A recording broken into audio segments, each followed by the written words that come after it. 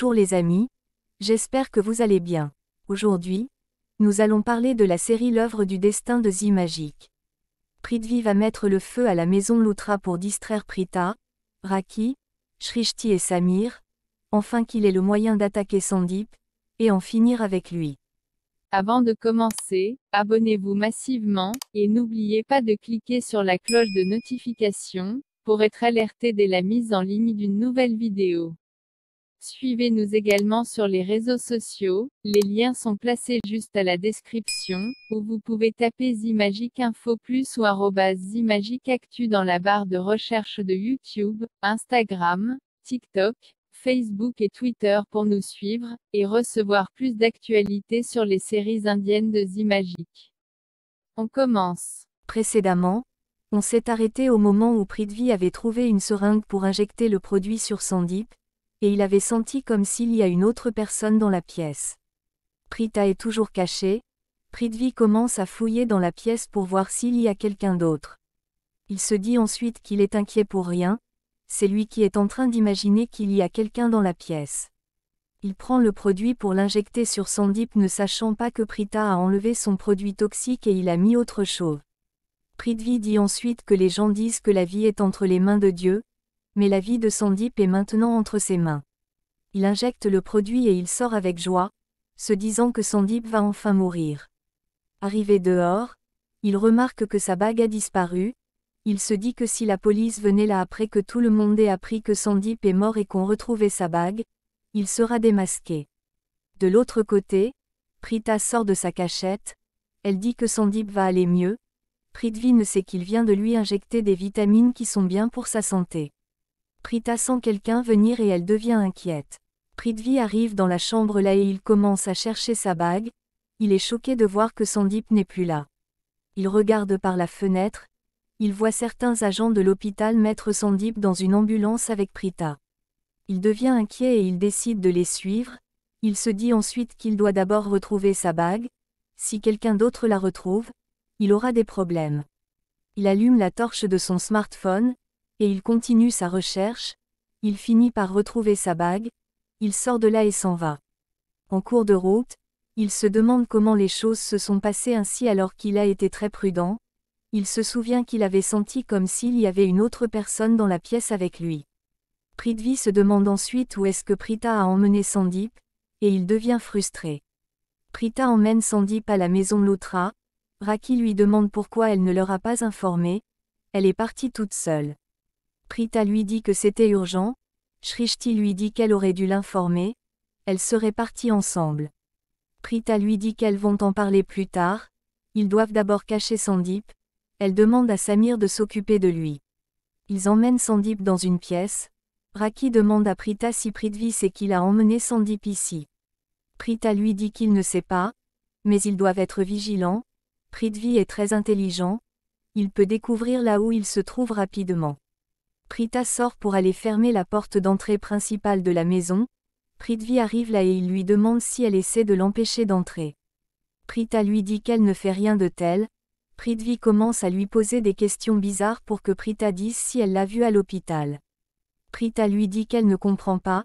Prithvi lui demande de dire ce qu'elle cache. Prita lui dit qu'elle n'a rien à cacher. Prithvi lui demande si elle a un téléphone avec elle. Prita lui demande s'il a peur qu'elle l'enregistre. Prithvi lui demande ensuite si son téléphone a un caméra. Prita lui demande s'il a peur qu'on le filme. Prithvi va maintenant droit au but.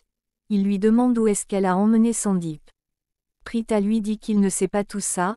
Elle n'était pas à l'hôpital. Prithvi lui dit qu'il l'a vue de ses propres yeux quand elle se tenait avec Sandip à côté d'une ambulance. Prithvi lui demande de ne pas le pousser à bout. Il ne veut pas du tout lui faire du mal. Prita lui dit que quand quelqu'un essaie de faire du mal à sa famille, elle devient une déesse pour assurer la protection, elle lui promet qu'elle fera tout son possible pour aider Rishab à sortir de cette affaire, et il ira en prison. Prithvi part de là en colère, Prita se dit qu'elle a enfin révélé à Prithvi qu'elle sait tout, mais elle a une autre carte, elle cache Sandip. Prithvi entre dans la chambre avec frustration, Kritika lui demande où il était pour revenir à une heure pareille. Prithvi lui répond avec colère qu'il n'aime pas qu'on l'interroge ainsi, Kritika devient choquée. Prithvi devient tendu, Il demande à Kritika comment elle a trouvé la blague, il voulait juste voir comment elle allait réagir s'il lui parle ainsi. Kritika part dans la salle de bain, Prithvi se dit qu'il est dans le pétrin. Il se dit que si Sherline était là, elle aurait eu un plan, il se demande quoi faire. Il se dit qu'il y a un moment qu'il se disait que tout est résolu, mais les problèmes ont encore augmenté. Il se dit ensuite qu'il est sûr que Prita a emmené Sandip dans la maison Loutra, il doit fouiller toutes les pièces. Prita part dans la pièce où se trouve Sandip, elle dit à Raki, Shrishti et Samir que Prithvi est de retour, il est aussi au courant qu'elle connaît toute la vérité sur lui, mais il ne sait pas que Raki est également au courant de tout. Raki propose qu'ils disent la vérité à toute la famille, Shrishti dit que Prithvi va faire du mal à quelqu'un s'il apprend qu'il est exposé devant tous. Prita dit que Shrishti a raison, il vaut mieux que Prithvi pense qu'elle est la seule à connaître la vérité à son sujet. Prithvi de son côté cherche Sandip dans la chambre d'amis, il n'est pas là. Il se dit que Prita est intelligente, elle savait qu'il allait fouiller cette chambre. Il s'assoit sur le canapé et il se dit qu'il n'a que cette nuit pour résoudre cette affaire, sinon il sera ruiné. Il se dit ensuite qu'il ne peut pas laisser une autre personne gagner, il ne perd jamais. Prithvi part fouiller toutes les pièces de la maison, il n'arrive toujours pas à trouver Sandip. Il se demande où est-ce que Prita aurait pu le cacher, il vient de fouiller presque partout. Il se dit ensuite que Prita est sûrement en train de changer Sandip de pièce, il doit faire quelque chose qui fera en sorte que Prita lui dise lui-même où se trouve Sandip, il ne perd jamais. Dans la pièce où se trouve Sandip, ils essaient de trouver une idée pour protéger Sandip. Shrishti propose qu'il puisse continuer à changer Sandip de pièce, même si c'est fatigant. Il décide ensuite de faire en sorte que Prithvi aille dans une autre pièce pour être distrait, ils vont emmener Sandip dans la chambre d'amis. Shrishti appelle Kritika et elle fait comme si elle parlait à Prita, Kritika lui dit qu'elle n'est pas Prita mais Shrishti continue de parler. Elle lui dit qu'elle est dans la chambre de Karan avec Sandip, elle est fatiguée de la surveiller, elle veut aussi se reposer, ensuite elle coupe l'appel. Prithvi a entendu leur conversation en se tenant à côté de la chambre de Kritika, il commence à sourire. Kritika sort de la chambre et elle rencontre Prithvi, celui-ci lui demande où elle va. Kritika lui dit que Sandip est dans la chambre de Karan, elle part pour le voir, Prithvi part avec elle. Ils arrivent à la chambre de Karan, ils ne trouvent personne. Kritika dit qu'elle a sûrement mal entendu, Sandip n'est pas ici. Prithvi devient en colère, Kritika lui demande pourquoi il devient si tendu. Kritika se dit ensuite que Prithvi est très étrange aujourd'hui. Prithvi sort de la chambre de Karan, il voit Shrishti pousser Sandip sur un fauteuil roulant pour aller avec lui dans une autre pièce. Il se dit qu'il a fait une erreur en pensant que les loutras ne valent rien, ils sont très intelligents. Il entre dans la cuisine et il prend une bouteille du kérosène. Shrishti entre dans une pièce, elle dit à Raki, Prita et Samir qu'elle a enfin réussi à emmener Sandip ici, Prithvi ne l'a pas vu, sinon leur plan allait être ruiné. Prithvi de son côté commence à jeter du kérosène dans une pièce, il se dit qu'il est le cerveau moteur de ce jeu, c'est lui-même qui va y mettre fin. Il se dit qu'il doit aller poignarder Sandip pendant que tout le monde sera occupé à éteindre le feu. Il allume le feu et il s'en va, avec le but d'en finir une fois pour toutes avec Sandip.